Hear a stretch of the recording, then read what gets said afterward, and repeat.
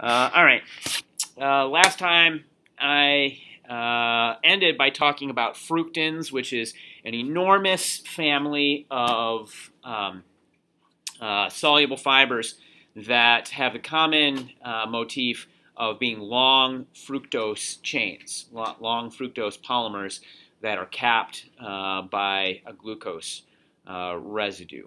Um, and then a lot of the variation, so inulin pictured here it's sort of the like the the mother fructan, um, and a lot of uh, the other variations in the family of fructans are going to be uh, going to have arborizations or branches off of uh, the inulin structure. So when you look at the structure here, you see this long chain of uh, fructose um, that, that can extend for hundreds. That N on there can, can be hundreds. Um, and then it can uh, get capped by the glucose.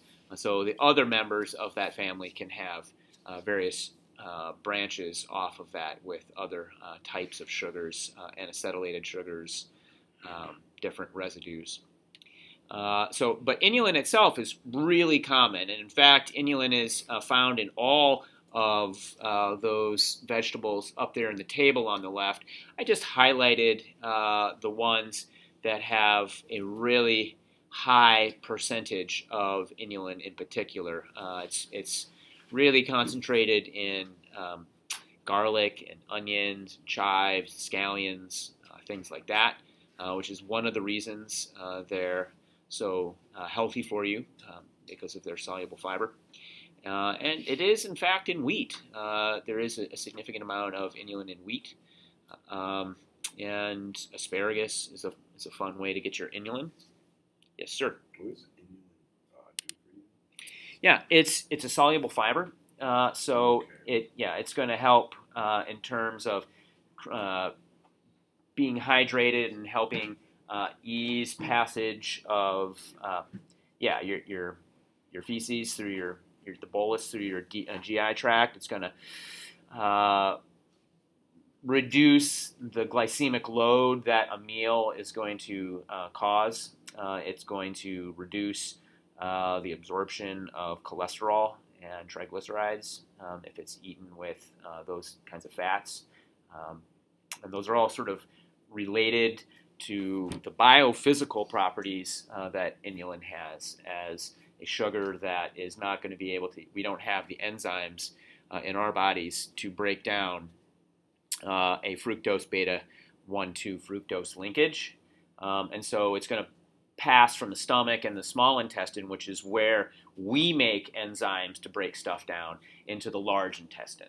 And once it gets to the large intestine, uh, there are going to be bacteria that can handle this for sure. Uh, it will get fermented. It'll broken down and then go through a process of fermentation. Uh, but um, some of that it will be resistant. Um, so, uh, inulin. Yeah, the primary nutrient absorption happens in the small intestine, like where you, you get all your you absorb the nutrition into the blood, and then the large intestine is uh, basically dehydration of the feces. Um, so you put a lot of fluid into it in the stomach and the large intestine. There's a net efflux of, fluid uh, from tissue into the lumen of your GI tract in the stomach and the small intestine. And then in the uh, large intestine, we take it back out. Uh, we, we dehydrate the feces to maintain water, and then there's compaction of uh, the stuff, and then you have bacterial fermentation. Uh, the, the large intestine really is sort of the compost bin of the body. All right? Does that make sense? We'll get to the GI tract, I promise. I mean to. Um, I'm, I'm, realizing that there's more material uh, that I had wanted to cover than a semester can handle, but uh, here's pectin. We have some experience with pectin from last semester, uh, from last week, and uh, pectin is uh, a an alpha 1,4 repeat of galactose, and a particular type of galactose, an oxidized form of galactose called galacturonic acid. Um, galacturonic acid has the C6 uh, hydroxymethyl group, that carbon, that, uh, let's see, so here's some cellulose. Uh, here's a cellulose polymer. But um, this, so in galactose, this would be epimerized, that the hydroxyl will be up and this the hydrogen will be down. But here's the hydroxymethyl group that's sticking out uh, of the side of the glucose ring. In galacturonic acid, this is oxidized. One of these hydrogens is gone. Uh, these hydrogens are both gone, pardon me, and it's double bonded to an O. So this becomes a carboxylic acid uh, on that carbon. All right, so it's, it's been oxidized. And galact, uh, galacturonic acids and, and, glucuronic acids, all the uronic acids are uh, important components of different structures in the body. You need them. Um, like, for example, you'll find them in high hyaluronic acid and cartilage, uh, cartilaginous and extracellular matrix stuff. It's kind of the like slippery goo uh, that makes the body uh, work the way it works. So these kinds of sugars are really important uh, to be able to, to, get. And pectin is, is a source of uronic acids, in, particular galacturonic acid. Um, so uh, what does uh, pectin do for the plants? Well, it's, it's a structural element uh, in the outside of the cell wall. Um, on plants uh, that live on, on land. Um, so there are different types of uh, pectin, and this uh, uronic acid, this carboxylic acid at the C6 that I pointed out, I probably should have made a model of this. Um, but you see there in the bottom center, uh, I have this methoxygalacturonic acid. Uh, the that hydroxyl group of the carboxylic acid, the OH group uh, in the C uh, double bond O OH, um, that H has been removed and replaced with a methyl group. All right, so it's a methoxygalacturonic acid, and uh, there can be varying degrees of methylation of that uronic acid uh, group in um, pectin.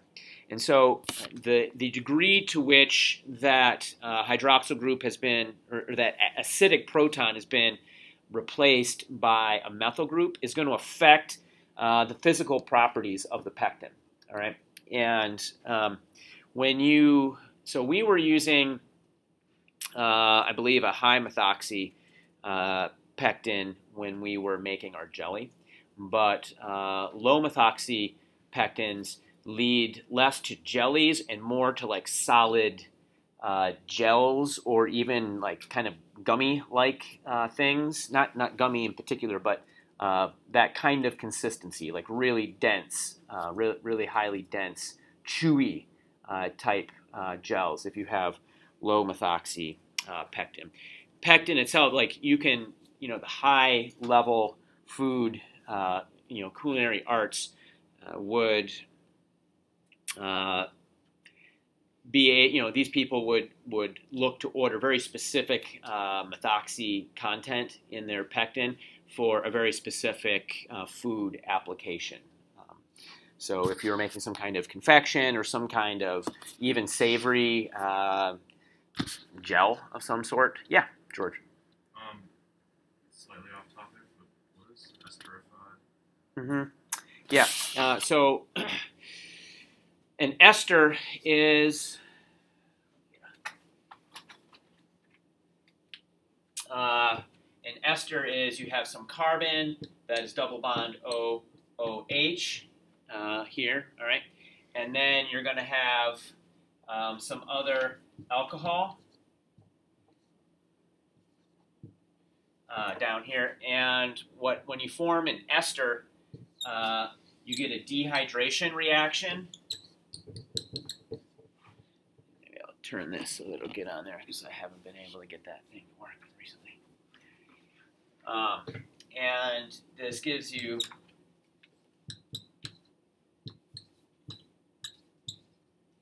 so this structure, a C double bond O, o uh, C bridge. Uh, so like this would be, we were talking about this being a glycoside, right, a glycosidic bond. This would be an ester. And uh, a methyl ester, esterification is just this reaction.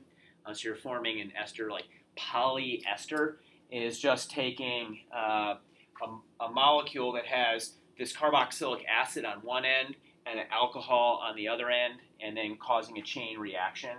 That is, uh, in fact, they use like uh, like a like a vinyl a, a, vinyl carboxylic acid, a short two carbon uh, thing, and they can make long chains of a, of a polymer, like a really macromolecule, by just having like consecutive dehydration reactions.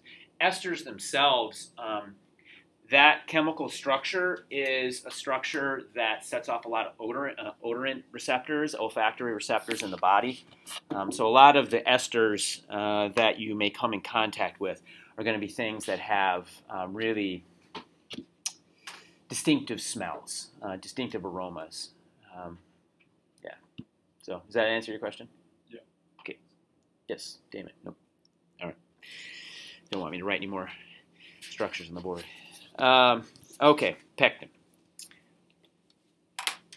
Any other questions about that? Fun compound. Xanthan gum. I realized the other day when I was talking in lab, we were talking about lecithin, and uh, I had, pardon me, I had said that lecithin was from a bacterial strain uh, my mind was completely juggled. And I, who was it? Somebody kind of raised their eyebrow at me, but wasn't brave enough to totally call my bullshit. Who was that? Did anybody pick that up? Someone. It was. It was a female. I feel like it was. I feel like it was you two. I feel like it was Megan and Annika. Did you guys talk about lecithin in your podcast? You did. I didn't know You didn't catch. Oh, oh, you didn't. Okay. One, it might have been you then, because I feel like one of you guys was like, eh, maybe not. Um, all right, maybe I imagined that because I was unsure a little bit. This is what I was thinking of when I was talking about lecithin. Lecithin is in a bunch of vegetable sources, plant sources, uh, primarily primarily um, sourced from soy. They get soy, uh, soy lecithin, but.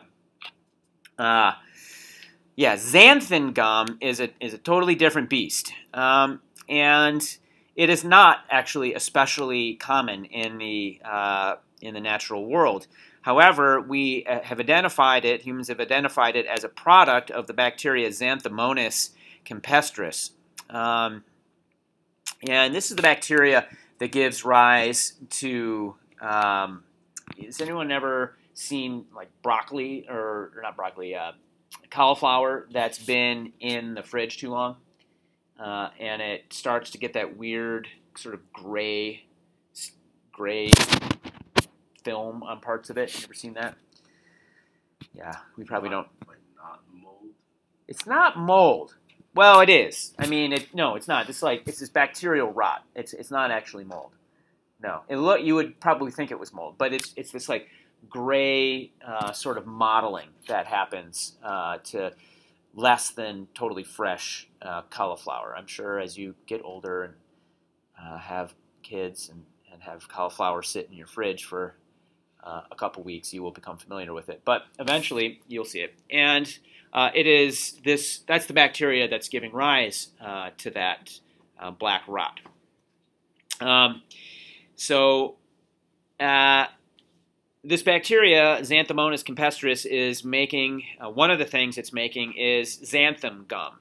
And you may say, well, why do we care about this like gray modeling on, uh, on cauliflower? Uh, you know, something that doesn't sound particularly appealing. Well, this uh, exopolysaccharide that uh, it makes is actually quite useful. It has been identified, isolated from this bacteria, uh, and um, is used for a tremendous number of commercial purposes. So, what is it?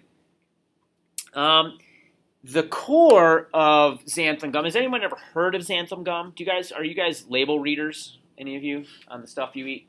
Yeah. Uh, if you are at all, you'll have seen xanthan gum. Um, I, am positive all of you have eaten plenty of it in your lifetime. Uh, the core of it is, if we look at the top there, it's this gluc beta 1 4 gluc. Gluc beta 4 1 gluc. Glucose beta 1 4 link to another glucose in a long chain. It's in a long, long chain. And you can see that it's in brackets. It goes out uh, in either direction for quite a long ways. And uh, we haven't talked about this explicitly a whole lot. I was going to talk about it in a couple slides here. Um, does anyone recognize that linkage? What did I say about that linkage?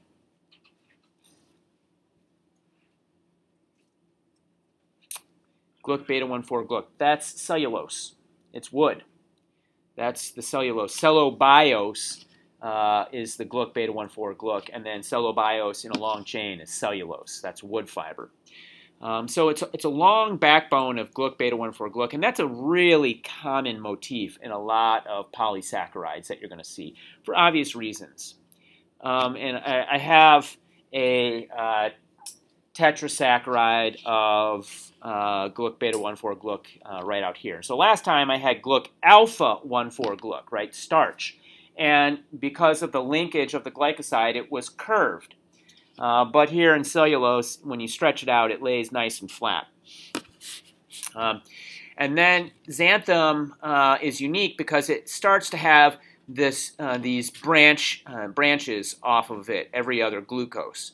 Uh, they're kind of a weird branch. So um, there's a, a man 1,3 Gluck beta uh, 1,3 or man alpha 1,3 glucose. Um, is the first linkage that comes off, and that uh, mannose isn't just mannose; it's actually uh, a, a, methyl ester to the uh, to the C6. You'll see that sticking off that that first man in the branch. And then there's uh, a couple more residues. There's a glucuronic acid. There's another mannose uh, at the very end, and then that mannose has another thing, uh, another little tweak sticking off the end of it uh, called pyruvate. It's a three carbon uh, molecule uh, related to sugars that um, is attached to both the uh, O6 and O4 of the mannose. So a pretty weird uh, side chain. But xanthan gum, um, beyond being a really strange looking sugar, is an extremely useful one. It's, it's really potent. Uh, you don't need a whole lot of xanthan to make something super thick. Uh, and they use it in everything from ice cream you see there to toothpaste, uh, Pop Tarts, lipstick, like all kinds of other cosmetics. It's it's really all over the place. It's it's a non-toxic, um, it's a non-toxic, potent thickening agent that um, that acts as a soluble fiber. Doesn't really do much to your body. Uh, it it acts in much the same way other soluble fibers do, uh, but it gives a lot of the uh, processed foods and other products that we use, toiletries and cosmetics, the kind of consistency that we have come to like and expect.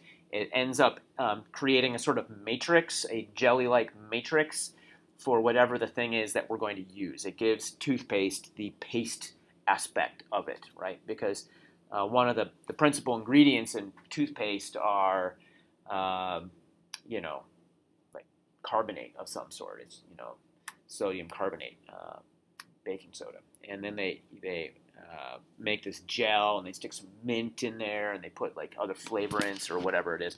Uh, but the xanthan gum is what gives it the consistency that we've come to um, expect.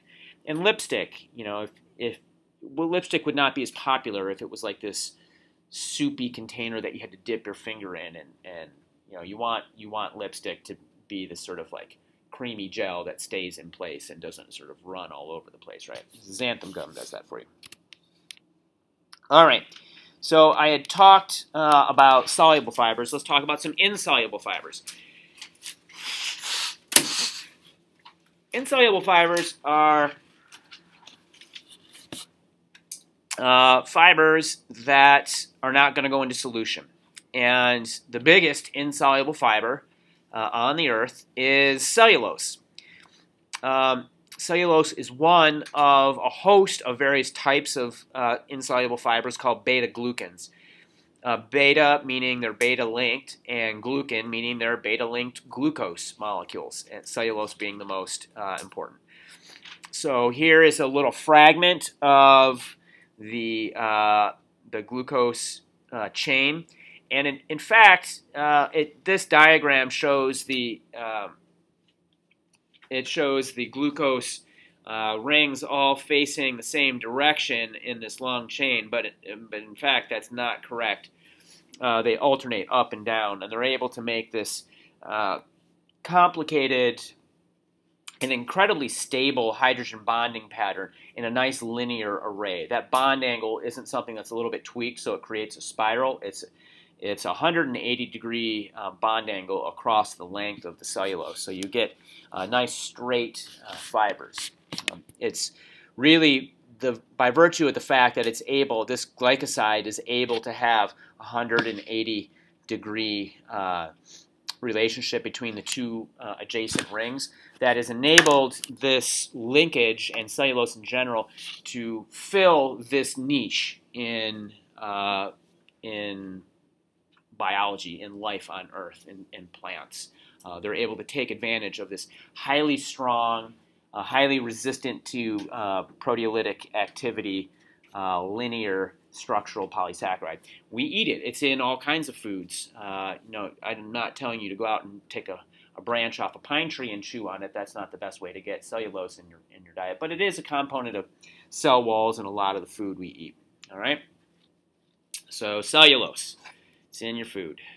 Uh, in fact, um, it's an additive to all kinds of foods that you wouldn't think of it. In fact, uh, like who uh, we had pasta last night and um, at my house. I'm a kind of a do-it-yourself person. I make my pasta sauce out of tomatoes and I shred my cheese. But uh, for those of you who prefer your cheese in a can, uh, like to to sprinkle the shredded cheese on your pasta uh, from Kraft shredded Parmesan or whatever, that stuff is actually anywhere from 15 to 40 percent cellulose fiber uh, that they just wood pulp. Look on the um, the ingredient list sometime, you'll you'll see that it's it's uh, microcrystalline cellulose. It's just little uh, fragments of literally sawdust that they stick in that cheese to help it uh, not clump together, right? I mean, if you shred cheese and it kind of compact it with time, it'll sort of stick together, right? And that's not what you want in the cheese that you shake out of a can. Um, so they put the sawdust in there to keep it uh, friable and, and broken apart and, and easily sprinkled on, on your food. Um, if you don't like that, shred your own cheese. But cellulose isn't going to hurt you. It's, it's just insoluble fiber, bulk in your gut. All right. Uh, another type of beta glucan that is in our diet is chitin. Um, and the biggest source of chitin that you're going to have uh, dietary is going to be uh, mushrooms. Um, it is chitin is also the principal structural uh, polysaccharide for uh, arthropods. Uh, so, like the exoskeletons of insects and, and crustaceans. Um, I don't know if anyone eats insects in here, but I imagine uh, many of you have eaten crab or, or lobster. And uh, you're probably not getting a whole lot of chitin from that, however, because um, it's, it's in the shell of, of those uh, creatures. But you do get it from mushrooms. What is it? Um, it is very, very similar to uh, cellulose, except instead of um, being a glucose beta 1 4 glucose, it's a glicnac beta 4 glicnac. Glicnac? What are you talking about? Well, uh, uh, stands for N-acetylglucosamine. Um, and it's a type of glucose. It's a type of glucose where uh, the O2 hydroxyl.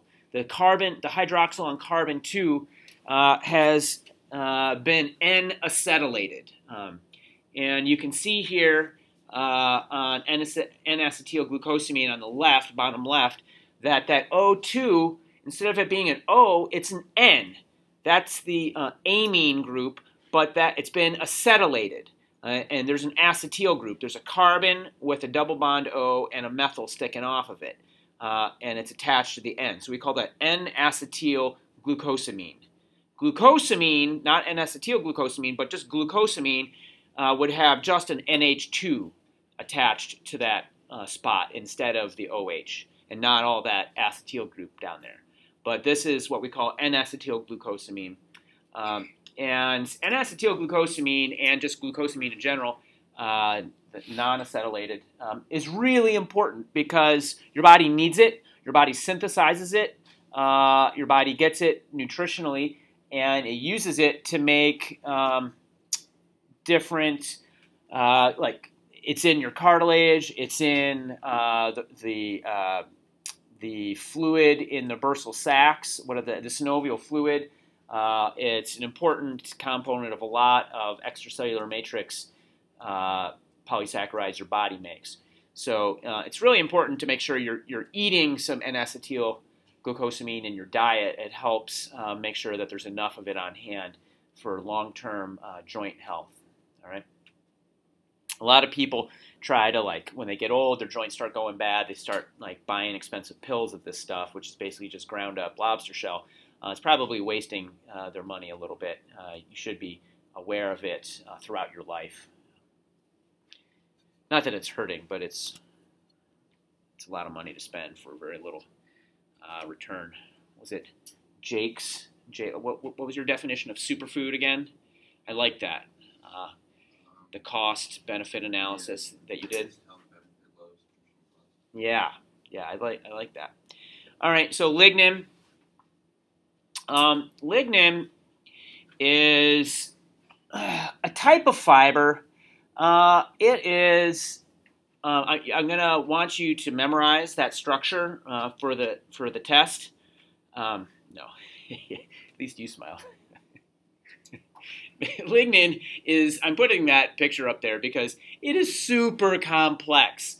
And that's just like a, a possible structure. It can have like infinite possible different variations on on that thing. Well, infinite, but you know, infinite's a big a big number. But you know what I'm saying? Like an enormous possible number of variations on a general structural theme.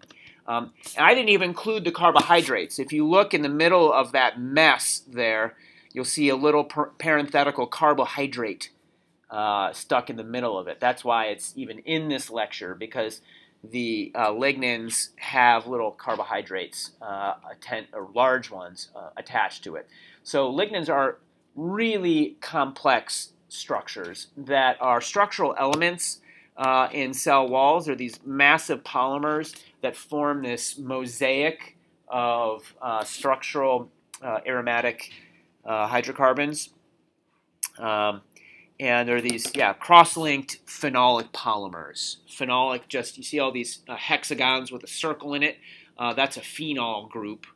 And uh, they're all cross-linked into these massive, really complex polymers. Um, Lignins are in all of the foods you eat. Most, I mean, all the, the natural ve- uh, vegetative vegetable foods you eat: uh, carrot, spinach, kiwi, curly kale, radish, asparagus, rhubarb, pear, apple, kohlrabi, for example. Many others, many many others.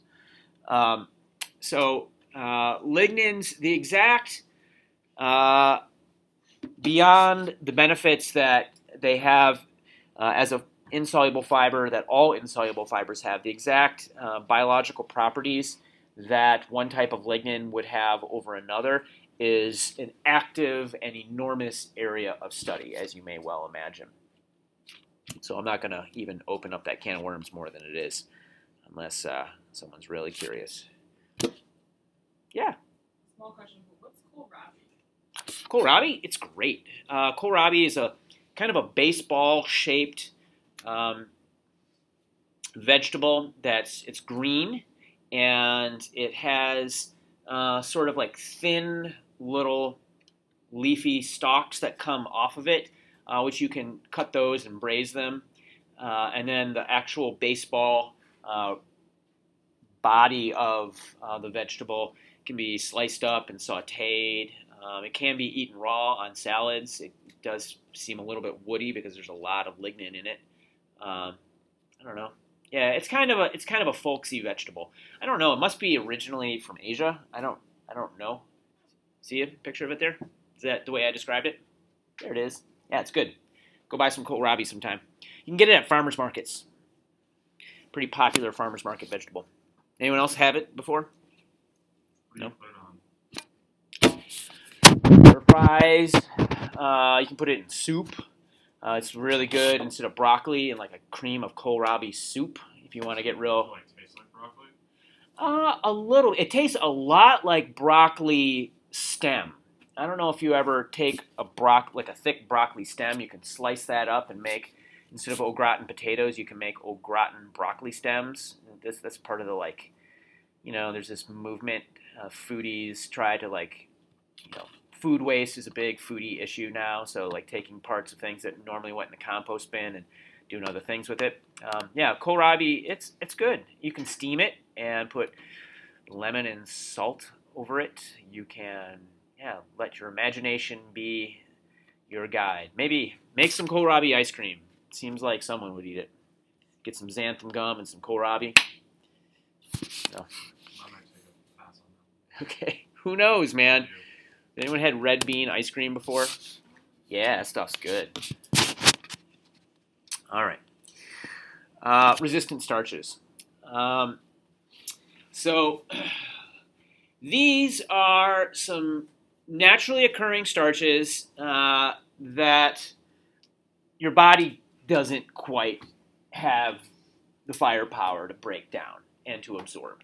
Uh, and so uh, they pass from the small intestine into the large intestine, where the bugs that live there, all your friends, your your your team, your coworkers down in your gut, are able uh, to ferment them. They break them down uh, into various uh, complicated metabolic uh, components. So, uh, resistant starches are important because they tend uh, to have all kinds of great properties. They, they've been shown to help inhibit cancer, they can stimulate the immune system, and they definitely uh, reduce the glycemic response. Um, I keep using that word glycemic. We're going to unpack that word more when I get into metabolism. But uh, what are some sources? Well, there's a lot of them. Here's a couple uh, common ones. Uncooked oats.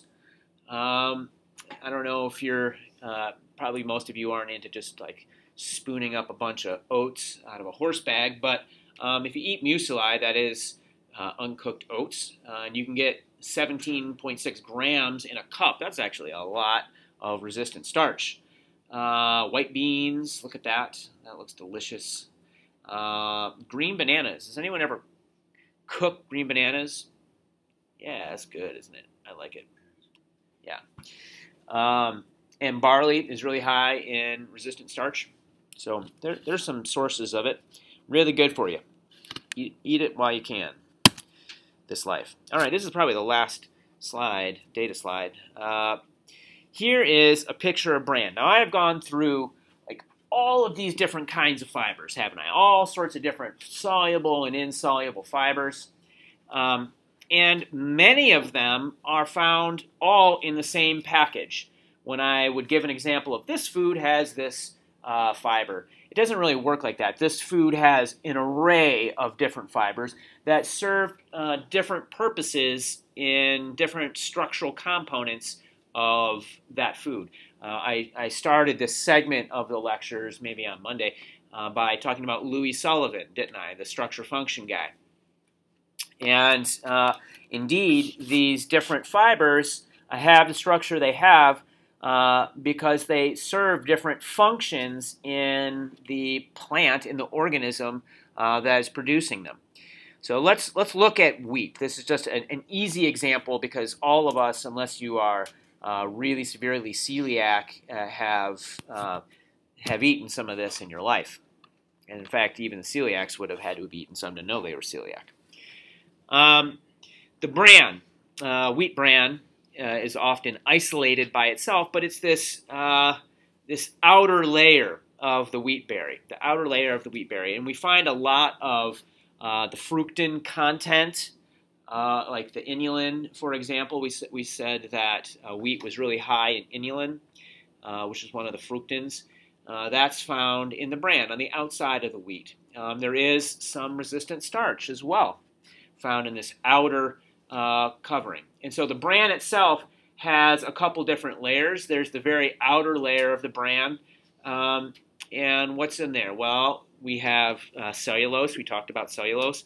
There are uh, I, I had talked about hemicelluloses, and the example I had put up on the board was arabinoxylan. Well, turns out arabinoxylan is found in the outer bran layer.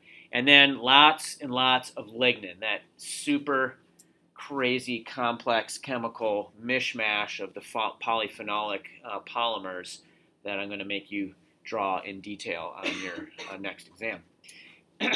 and then uh, below that is uh, the aleurone. And the aleurone is actually not part of the outer bran layer, but when it's part of the uh, inner endosperm um, of the uh, of the uh, wheat berry. Uh, but when you're removing it, it, travels with the bran, so it's included over here. And this again has hemicellulose, uh, the arabinoxylans. It has other beta glucans uh, in there. Um, and then there's a lot of other uh, uh, nutrients that are less important to this particular lecture, but no less important to your body. Um, then moving further into the body of the wheat berry, we have what's called the endosperm. The endosperm, this large, uh, starchy uh, component. This is sort of like uh, the energy reserve of the of the wheat uh, berry for when the wheat germinates and uh, grows.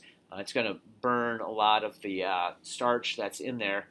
Um, there are a lot of structural elements that give the endosperm its its form.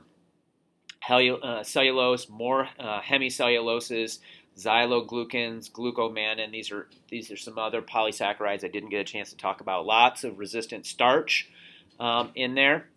Um, and there's uh, lots of protein as well. It is uh, this protein um, that is where the gluten resides. And so gluten uh, is not a carbohydrate; it, it is a protein, and uh, gluten is what gives bread its sort of uh, nice, stretchy, chewy, uh, delicious um, gooiness when you when you chew it up. But um, it's primarily found in the endosperm of the wheat berry.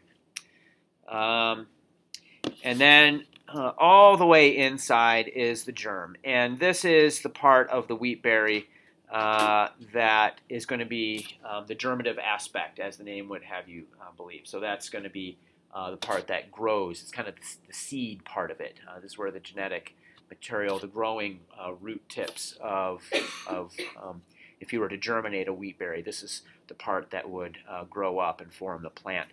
Uh, so this again has cellulose, fructans, lignin. It's all throughout there, um, and a lot of uh, fat. Uh, any fat that is found in uh, wheat is going to be uh, located in the germ. So, all right, there's a wheat uh, berry. Summary. I had promised you guys a summary. Um, so here's just a slide that summarizes some of the disaccharides and polysaccharides I talked about. I talked about lactose uh, last week. I talked about that was the milk uh, sugar, and that was a beta 1 4 galactose to glucose. I talked about sucrose, uh, which is glucose and fructose. Um, that's table sugar. I talked a little bit about the fraught history of sucrose consumption and production. Uh, there's uh, amylose, which is plant starch. Uh, it's these repeat alpha 1 4 units of glucose. Um, and then amylopectin, another type of, uh, of vegetable starch um, that is just like amylose, except it has these alpha 1 6 uh, branch points. Um, so this is the pectin uh, that we've talked about. Then there's glycogen. Uh, this is just animal starch. Very similar to amylopectin, except the frequency of branch points is uh, much uh, more frequent. All right. Um, yeah, just going back sort of uh, in outline form, we talked, I defined what a carbohydrate was, a monosaccharide, the simple sugars. Uh, and then we spent a lot of time, probably more time than we should have, uh, talking about stereochemistry and exactly what stereochemistry means um, chirality, optical, optical activity, uh, what an enantiomer uh, was, etc. I talked about how sugars link together uh, and form the hemiacetal um, linkage, uh, the, the hemiacetal when they form the rings, um, and the difference between aldoses and ketoses. Uh, and then I talked about glycation briefly when you have really high blood sugar and how that can affect uh, certain proteins. Um, and then we started building uh, more complex sugars. Uh, we moved into the disaccharides, and I talked about a host of those maltose, cellobiose, uh, sucrose, uh, which is broken down by sucrase, the enzyme, lactose, broken down by lactase. I talked about allolactose, which was the effector of the lac operon. Pretty comprehensive summary here, huh? Uh, and then uh, structure function relationships was this week, uh, moving into polysaccharides and uh, the host of uh, storage polysaccharides, amylose, amylopectin, and glycogen, and then the structural uh, polysaccharides, which we broke into, uh, we called them fibers, and we broke them into soluble and insoluble fibers. All right, so that's that was the whole carbohydrate uh, unit. Thank you for going through that with me and uh, going a minute over with me. Are there any questions?